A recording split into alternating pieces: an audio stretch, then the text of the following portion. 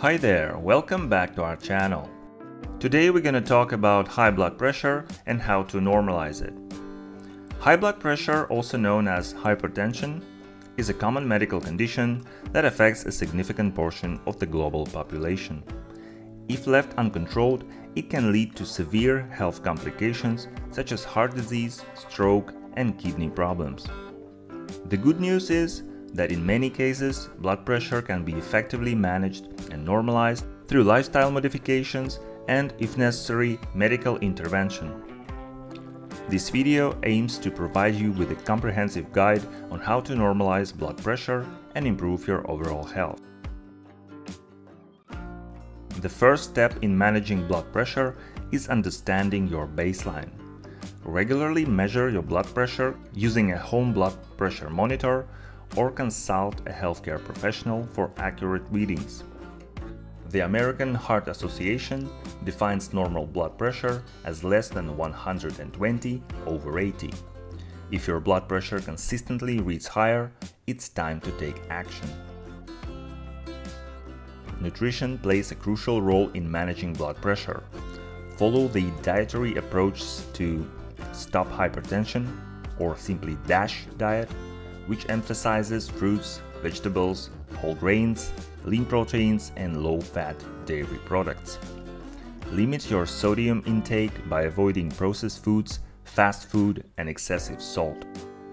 Incorporate potassium rich foods like bananas, oranges, and spinach as they help counteract the negative effects of sodium. Excess weight puts strain on your cardiovascular system, raising your blood pressure. Aim for a body mass index within the healthy range, which is from 18.5 to 24.9.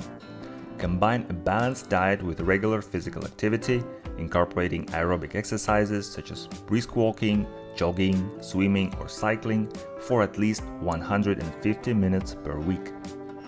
Physical activity not only aids weight management, but also strengthens the heart and improves blood circulation. Chronic stress contributes to high blood pressure. Incorporate stress reducing techniques into your daily routine, such as deep breathing exercises, meditation, yoga, or engaging in hobbies that bring you joy.